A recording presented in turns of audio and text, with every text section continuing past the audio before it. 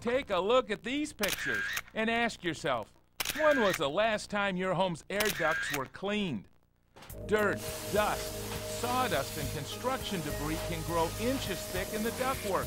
In fact, the average home can have 3 to 20 pounds of crud, a perfect environment for dust mites and mold. And according to environmental medicine specialists, that mold could be making you sick. One of the newer emerging concerns with some of the molds is that they can cause what seems to be memory loss and other neuropsychological changes, meaning that people lose their ability to think as clearly. We've actually shown this with neuropsychological tests.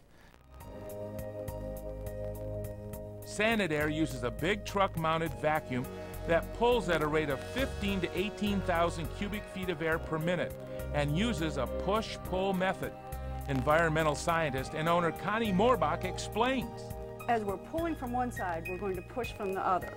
Regardless of how powerful this truck is, we're not going to pull debris from 20 feet away and around a 90 degree turn. We have to actually get this debris to the vacuum from upstairs. So first what we'll do in a home is tape the vents and registers. Then next we drill one inch holes. This is what they're plugged with. Into these holes we insert an air snake that will use compressed air at about 200 pounds per square inch with an air whip on the end. It's going to whip around clean the walls of the ducts, and move all of that debris to the vacuum. Everyone wants to know how often air ducts should be cleaned. My recommendation every three to seven years. If someone has allergies, maybe a little more often. Sanit-Air estimates the average 2,000 square foot home runs about 400 to $450 for duct cleaning and sanitizing. It takes a reputable company about two and a half to three hours to complete. Morbach suggests duct cleaning for anyone who is moving into a brand new home. That can actually be the most important time to have the ducts cleaned, to get the debris out before it gets a chance to grow mold. Uh, we find chunks of drywall, um, sawdust, sometimes pop cans, cigarettes, half-eaten Big Macs, so it can be an important time to have the ducts cleaned. You won't believe what Sanit-Air has found in some of the homes around here. One of the most famous is the $4,000 we found once, but they wouldn't let us keep that.